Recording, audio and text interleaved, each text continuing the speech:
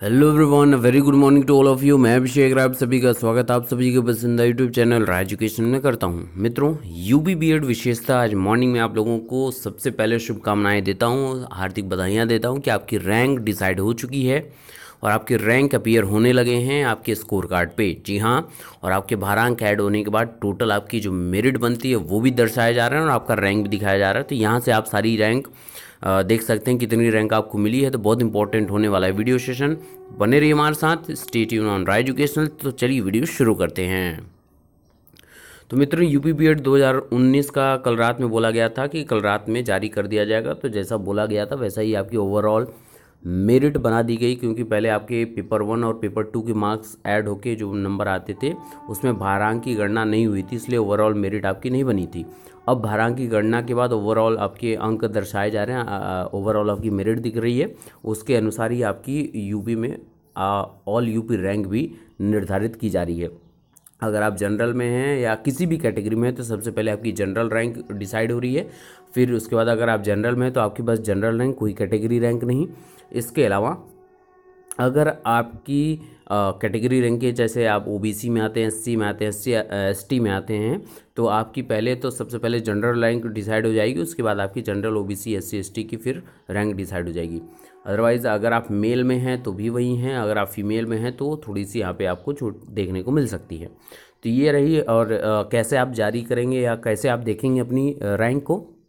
तो आप जब जाते थे यू पी बी एड की U P B Ed dot in website जिसकी लिंक डिस्क्रिप्शन में मैं दे दूँगा तो वहाँ पे आप जाते थे तो अपना स्कोर कार्ड जहाँ से चेक किए थे पेपर वन और पेपर टू का अब वहाँ पे साइड में ऑप्शन आएगा, अब तीन चार ऑप्शन आपके आएँगे, जैसा मैं आपको दिखा देता हूँ। तो सीधे सीधे हमको चलना है सरकारी रिज़ल्ट वेबसाइट पर, सरकारी रिज़ल्ट मेरे पास यहाँ पर डायरेक्ट टैब है तो मैं इस पर क्लिक कर लेता हूँ, नहीं तो आप सरकारी रिज़ल्ट पर डायरेक्ट चलिए। और अगर आप यू पी वेबसाइट पर जाना चाहते हैं तो आप डायरेक्ट उस पर भी विज़िट कर सकते हैं। तो मैं डायरेक्ट सरकारी रिज़ल्ट पे जाता हूँ और यहाँ पे डायरेक्ट हमको चलना है रिज़ल्ट सेशन में। यहाँ आप देख सकते हैं रिज़ल्ट है एडमिट कार्ड है तो हमको रिज़ल्ट वाले सेशन में नीचे जहाँ पे देखना है, जहाँ पे हमने अपना यू पी का इंट्रेंस का रिज़ल्ट यू पी देख सकते हैं U P B Ed two thousand entrance result declared तो इसी पर हम क्लिक करेंगे। क्लिक करने के बाद, सबसे नीचे आने के बाद यहाँ पे लिखा हुआ है download result with score card पहला ऑप्शन है। इस पर हम क्लिक कर देते हैं तो इस पर हमने क्लिक कर दिया है।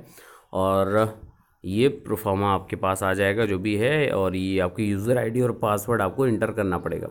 ठीक है यूज़र आईडी पासवर्ड आप इंटर करेंगे तो मैं दिखा देता हूँ कि अब ऑप्शन क्या क्या आएँगे, है ना? तो वेट करिए थोड़ा सा, मैं ऑप्शंस दिखा देता हूँ।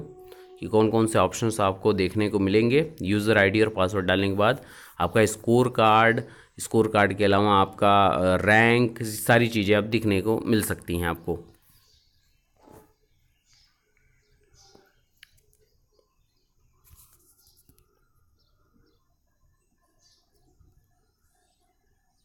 तो इन दोनों को डालने के बाद आपके आईडी यूज़र आईडी और पासवर्ड डालने के बाद आपके पास कुछ ऐसा टाइप का खुल जाता था ठीक है? तो एप्लीकेशन डिटेल रहती थी एप्लीकेंट डिटेल फिर एप्लीकेशन आपको प्रिंट करना है तो वो यहाँ पे स्कोर डिटेल और यहाँ पे ऑल है ना? तो अब मैं ऑल पे क्लिक करता हूँ तो ऑल पे क्लिक करने के बाद आपके पास ढेर सारे ऑप्शन हो जाएँगे ग्रीवेंस का जो आपने आपत्ति अगर दर, दर्ज कराई तो उसका क्या रिज़ल्ट रहा वो उसके बारे में डिटेल यहाँ पे आप देख सकते हैं स्कोर कार्ड के बारे में जान सकते हैं। तो स्कोर कार्ड पे जैसे आप क्लिक करते हैं तो ढेर सारी चीज़ आपको देखने को मिल जाएँगी। तो इसी में आपकी स्कोर कार्ड में ही आपकी डिटेलिंग मिल जाएगी।